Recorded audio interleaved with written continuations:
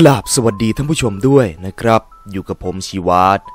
ในช่วงเรื่องเล่าสยองขวัญพาร์ทที่แล้ว ผมก็ได้ทำเกี่ยวกับเรื่องมหาลัยไปแล้ว งั้นวันนี้ผมก็ได้รวบรวมเรื่องหลอนๆในโรงเรียน มาฝากท่านผู้ชมตามคำเรียกร้อง ยินดีต้อนรับท่านผู้ชมเข้าสู่รายการสยองซะไม่มี อันดับ 5 เสียง ในห้องน้ำเป็นเรื่องของโรงเรียนประจำแห่งหนึ่งในภาคอีสาน โดยเรื่องนี้เกิดขึ้นกับเด็กหญิงที่เผลอหลับขณะอ่านหนังสือ เธอจึงลุกมาอาบน้ำตอนตีหนึ่ง ซึ่งตอนอาบอยู่ สักพักก็มีเสียงคนถามขึ้นว่า มีคน ต่อไหมคะ คือตามธรรมเนียมของโรงเรียนนี้ เวลาจะใช้ห้องน้ำต่อต้องเคาะประตู แล้วถามว่ามีคนต่อไหม ถ้าตอบกลับไปว่าไม่มี คนต่อไป ก็จะพาผ้าเช็ดตัวไว้ที่ประตูห้องน้ำตอนแรก เธอก็ไม่ยอมตอบกลับไป เพราะเห็นว่าห้องอื่นๆ มันก็ว่างหมด สักพักก็มีคนถามขึ้นมาอีกด้วยน้ำเสียงเฉยๆจึงตอบกลับไปว่าไม่มีค่ะ แต่ทว่าบางสิ่งบางอย่างข้างนอก ก็ยังคงเคาะไม่ยอมหยุด และยิ่งดังขึ้นเรื่อยๆเรื่อยๆ แล้วจู่ๆผ้าขนหนูที่พาดเอาไว้ มันก็เหมือนโดนดึงไปฝั่งข้างนอก เธอจึงเอื้อมมือไปคว้า แต่แรงข้างนอก แรงกว่าที่เธอคิดเอาไว้ จึงตะโกนออกไปว่า ห้องน้ำห้องอื่นก็ยังว่างนะคะ พอพูดจบ แรงที่ดึงมันก็หายไป เธอจึงรีบเปิดประตู และก็วิ่งกลับไปที่ห้อง ระหว่างทางเธอก็ไม่เห็นใคร เมื่อไปถึงห้องแล้วเพื่อนๆเองก็นอนอยู่ท่าเดิม มันทำให้เธอคิดได้ว่า สิ่งที่พบเจอในห้องน้ำนั้น ไม่น่าจะใช่คน อันดับ 4 ห้องน้ำกับเสียงปริศนา เรื่องนี้เกิดขึ้นที่โรงเรียนแห่งหนึ่งในจังหวัดเชียงใหม่ ที่มีห้องน้ำอยู่ข้างๆ ห้องสมุด แต่คนกลับไม่ชอบไปเข้า เพราะว่าไฟก็ไม่มี แถมยังเงียบอีกต่างหาก จนกระทั่งวันหนึ่ง มีเด็กผู้หญิงคนหนึ่ง ไม่รู้นึกอะไร จึงชวนเพื่อนมาเข้าห้องน้ำที่นี่ สงสัยเป็นเพราะว่ามันไกลจากตึกเรียน และพวกเธออาจจะขี้เกียจเรียนหนังสือ เลยหาเรื่องมาเข้าห้องน้ำสักไกล โดยขณะที่คนหนึ่งกำลังเข้า อีกคนหนึ่งก็ยืนรออยู่หน้าห้อง ยืนรอไปสักพัก ก็ได้ยินเสียงมาจากห้องน้ำว่า แกเป็นอะไรเปล่า ซ้ำอยู่เรื่อยๆ เพื่อนที่ยืนรอก็คิดว่าเพื่อนแกล้ง ก็เลยไม่ได้ตอบอะไร พอออกมา พื่อนก็ถามว่าแกกรีดทำไม เป็นอะไรทำไมถึงไม่ตอบ เพื่อนที่ยืนรอก็ได้แต่ทำหน้างงๆและบอกว่า ไม่มีไม่มีใครกรีดนะ ไม่ได้กรีดและก็ไม่ได้ยินเสียงกรีดของใครด้วยซ้ำเพื่อนคนนั้นยังยืนยันว่า ตั้งแต่ที่เปิดประตูห้องน้ำไป ก็ได้ยินเสียงกรีดตลอด และถ้าไม่ใช่เสียงของเพื่อน แล้วเสียงนี้เป็นเสียงของใคร อันดับ3โรงเรียนมีเรื่องเล่าเยอะ โรงเรียนแห่งนี้ก็ถือว่าเป็นโรงเรียนใหม่ เพราะสร้างขึ้นมาได้ไม่ถึง 10 ปี แต่ว่ากันว่า แต่ก่อนที่นี่เคยเป็นสถานที่รบของไทยและพมา่า โดยเรื่องแปลกๆ เรื่องหลอนที่นี่ก็มีอยู่หลายเรื่อง เรื่องแรกเป็นเรื่องของผู้หญิงที่ใส่ชุดไทย ที่นักเรียนมักจะพบเห็นกันบ่อยๆ ในตอนเย็นมักจะเห็นผู้หญิงใส่ชุดไทย เดินลงมาแล้วเลี้ยวเข้าไปในกำแพง ซึ่งใครๆ ก็ต้องรู้อยู่แล้วว่านั่นไม่ใช่คนอย่างแน่นอน ต่อไปเป็นเรื่องของเงาดำในห้องเรียนที่ใครมาเช้าเช้าๆเมื่อมองผ่านช่องประตู ก็มักจะเห็นเหมือนมีคนเดินอยู่ข้างใน ทั้งๆทที่ห้องยังปิดอยู่ เรื่องสุดท้ายเป็นเรื่องของผู้หญิงชุดขาวที่มาให้เห็นกันจะจะในตอนกำลังเรียนอยู่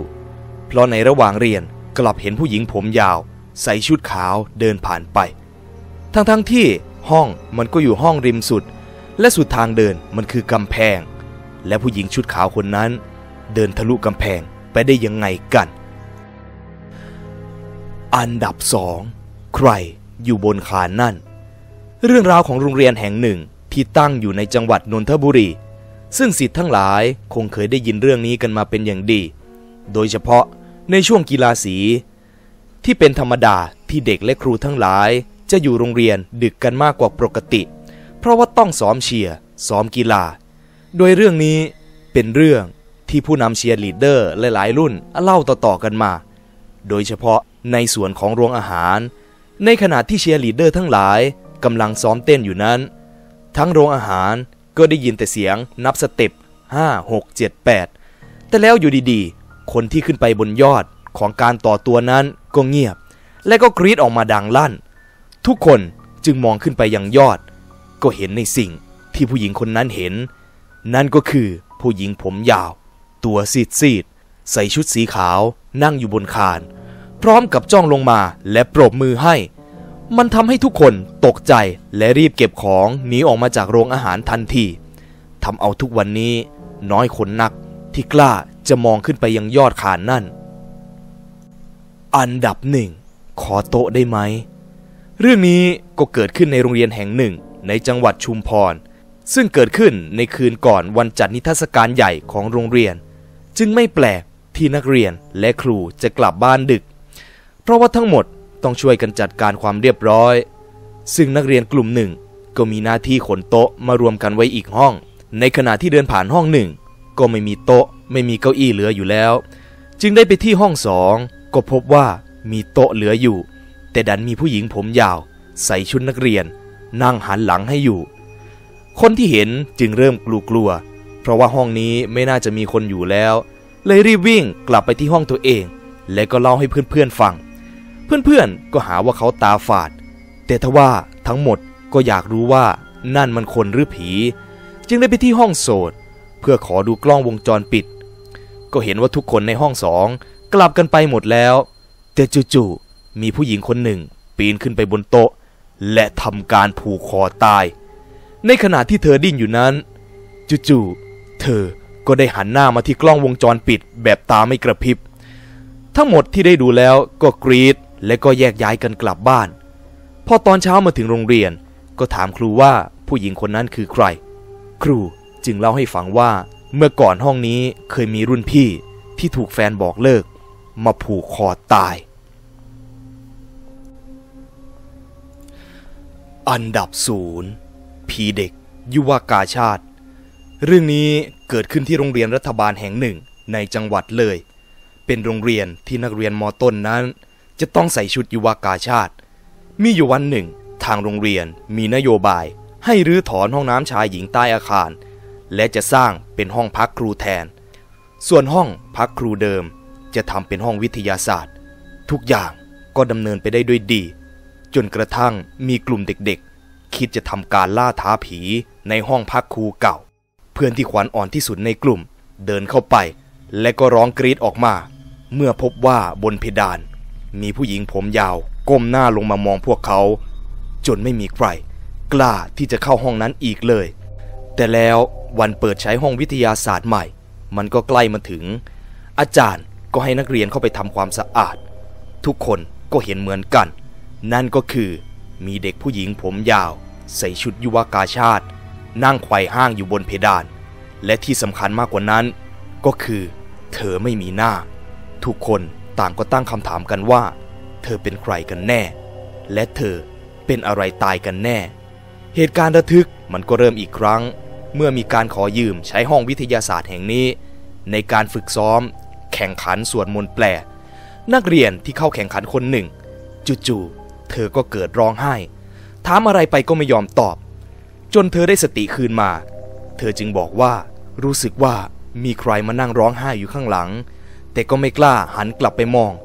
และอยู่ดีๆ ตัวเธอก็สั่นและก็ร้องไห้ออกมาเอง ไม่เชื่อก็ต้องเชื่อว่า ในระหว่างที่เธอเล่าอยู่นั้น ประตูห้องก็ถูกปิดลงอย่างแรง ทุกคนต่างพากันวิ่งหนีและก็ต่างบอกว่านี่คือห้องผีสิง มีครั้งหนึ่งในคาบเรียนภาษาอังกฤษ มีการพูดถึงห้องผีสิงแห่งนี้ และอาจารย์ก็เล่าเพียงแต่ว่าเดิมทีโรงเรียนนี้ เป็นเพียงสนามว่างเปล่า จนกระทั่งมีข่าว แล้วอาจารย์ก็ไม่เล่าต่อ มันก็สร้างความสงสัยให้กับเหล่านักเรียนเป็นอย่างมาก จนกระทั่งปัจจุบันก็ยังไม่มีใครไขปริศนา เด็กหญิงยุวกาชาติไม่มีหน้าคนนั้นได้ ว่าเธอเป็นใครกันแน่ ก็จบไปแล้ว